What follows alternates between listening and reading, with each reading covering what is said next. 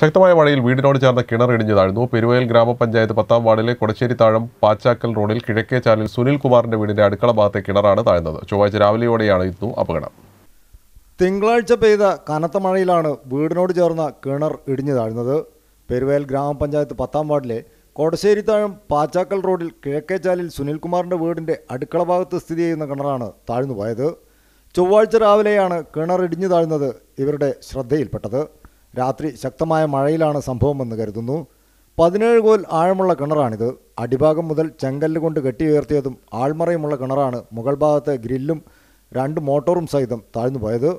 എപ്പോഴും അറിഞ്ഞില്ല രാവിലെ നീറ്റ് വന്നപ്പോഴാണ് കിണറിങ്ങനെ കാണുന്നത്.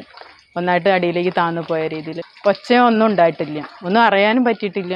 Ward member Reshma Thekkadath village officer Mavoor police എന്നിവർ സ്ഥലം സന്ദർശിച്ചു. വീടിന് ഭീഷണിയായതിനാൽ വീട്ടുകാരോട് മാറി താമസിക്കാനും കിണർ എത്രയും പെട്ടെന്ന് മണ്ണിട്ട് മൂടാനും അധികൃതർ ആവശ്യപ്പെട്ടിട്ടുണ്ട്.